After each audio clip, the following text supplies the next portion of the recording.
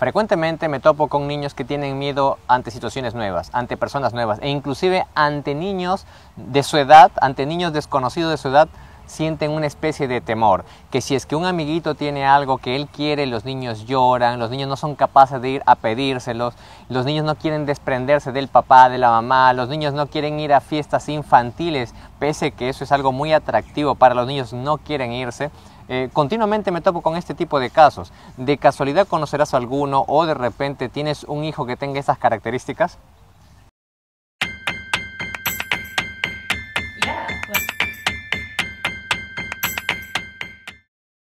Buen día con todos, soy Guillermo Ciesa y el día de hoy te voy a dar cinco sugerencias que te van a permitir estimular las habilidades sociales de tu niño. Así que si es que te interesa, quédate. Antes de proseguir, déjame decirte que es normal, es completamente normal que haya niños que se tomen su tiempo, que estudien la situación, el contexto, el ambiente, para de acuerdo a eso ver en qué momento o qué momento es el más idóneo para acercarse a situaciones o personas nuevas. Bien, y eso no quiere decir que sea un niño con problemas serios en habilidades sociales, con problemas serios para integrarse con otros niños. No, hay niños que rápidamente se integran y otros que estudian el ambiente y se toman su tiempo para integrarse a situaciones, a personas nuevas. ¿Entendido? Una vez dicho esto, comencemos. Número 1. Clima familiar adecuado. El hogar el hogar es el lugar donde tu niño debe sentirse protegido, querido, amado, seguro. Bien, si es que no es así y si es que es todo lo contrario, es decir, si es que el propio hogar de tu niño es un campo de batalla donde continuamente papá y mamá discuten, pelean, donde continuamente están atacando al niño, están, estás atacando a tu hijo, ya sea verbal o físicamente, entonces, ¿qué lugar sería seguro para tu niño si es que ni su propio hogar lo es? Si es que su hogar es un campo de batalla o es un lugar donde tu niño se siente inseguro, probablemente va a tener o va a desarrollar estos dos tipos de reacciones ante la vida. O uno es de manera agresiva porque aprendió que con violencia, que la violencia es la manera de interactuar o es la única manera que uno tiene para que no abusen de él. O número dos, de manera inhibida, se corre, huye porque aprendió que haga lo que haga, no puede evadir el peligro, no puede evitar que le agredan. Entonces, por favor, padres, eh, si queremos que nuestros hijos mejoren sus habilidades sociales, número uno, evitar un clima familiar inadecuado, evitar que tu niño se sienta en riesgo. Número dos, algo que continuamente repito en mi canal de YouTube, en mis redes sociales, que es que nosotros debemos dedicar tiempo a nuestros niños, tiempo exclusivo donde dejemos de lado todo. Bien, ¿qué tiene que ver esto con las habilidades sociales? A ver, si es que yo paso más tiempo con mi hijo, mi hijo se va a sentir más seguro. ¿Por qué?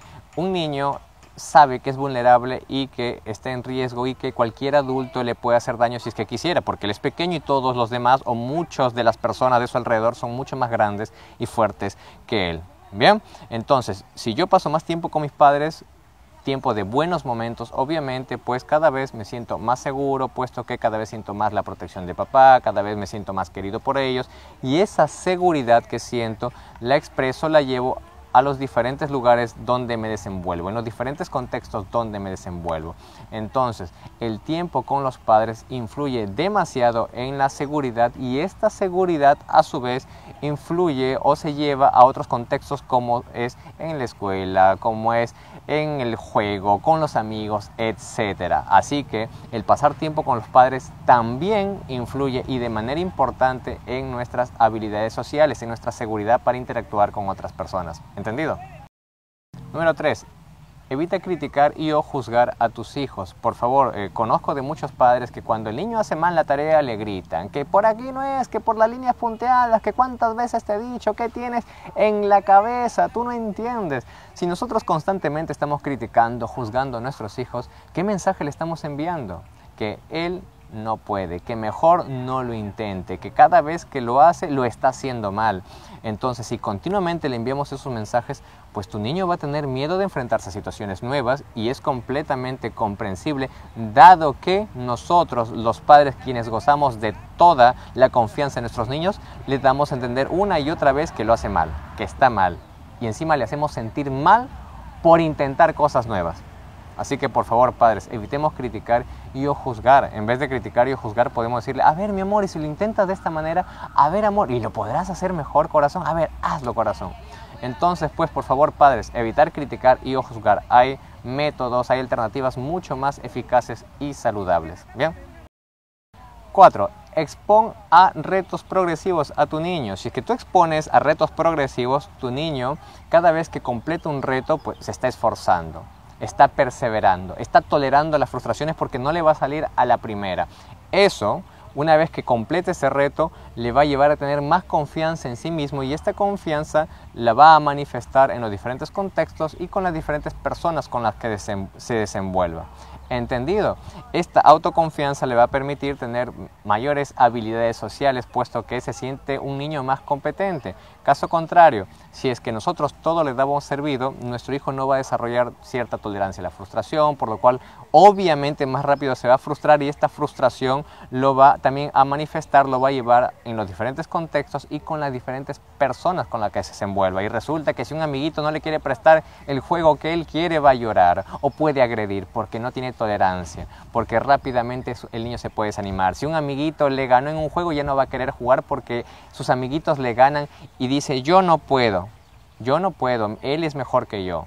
Bien, entonces por favor padres, número 4, exponerlo también a retos progresivos y evitar caer en la sobreprotección. Número 5, obvio, lo más obvio, expónle a situaciones sociales. Si nosotros queremos ser buenos en fútbol, tenemos que practicar fútbol. Si queremos ser buenos en matemáticas, practicar matemáticas. Y si queremos ser buenos socializando, si quieres que tu hijo sea bueno socializando, exponerle a situaciones sociales, que practique sus habilidades sociales. ¿Cómo vamos a querer que nuestro hijo sea menos tímido o que sea más sociable si es que lo tenemos todo el día encerrado en casa? Si es que no tiene ninguna academia, ningún taller, si no le llevamos al parque a que se relacione con otros niños, ¿cómo pretendemos que nuestros hijos sean más sociables, sean más desenvueltos, más expresivos si está encerrado en casa? Entonces, número 5, algo obvio pero que muchos padres obvian es exponle a situaciones sociales. ¿Bien? Bien queridos padres, si ustedes siguen estas sugerencias de seguro que les va a ayudar a poder desarrollar un poco más las habilidades sociales de su niño. Déjame decirte que ni este ni ningún otro video jamás van a reemplazar un proceso de terapia. Si es que a pesar de seguir estas sugerencias tiene dificultades, nada mejor que te vea un especialista de manera personalizada. Bien, soy Guillermo Ciesa y si es que deseas más información referente a bienestar emocional del niño, no te olvides de dejarme un me gusta. De esta manera me harás saber que estos videos son de tu agrado y produciré más información como esta.